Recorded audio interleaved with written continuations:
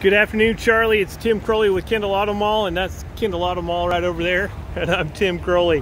Hey, I'm with this uh, this uh, SLE GMC with the 6.6 gas motor in it. Uh, you got the front and rear park sensors on it, and 6.6 uh, gas motor.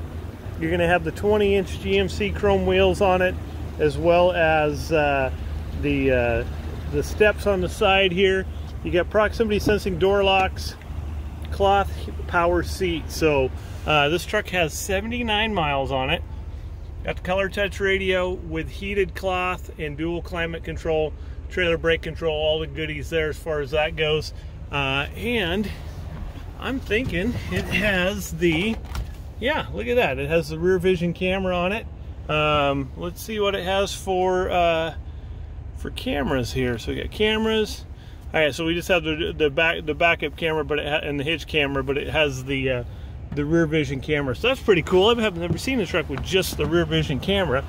So anyway, so crew cab, full four doors, got the rubber mats in the back, and uh, just slick bed there. No no puck system or anything. Uh, X31 off-road package and the standard tailgate. So um, push button release on the tailgate and down she goes and I believe it's just going to be just that. Yep, doesn't have the power backup. So SLE, and got the steps in the bed there, and it's got the power retractable mirrors. So there you go. Let's take a look at her there, make sure that's the right truck for you. I'm working on trade numbers right now, and I'll be back with you shortly. So thanks, Charlie. I'll talk to you soon. Have a good day.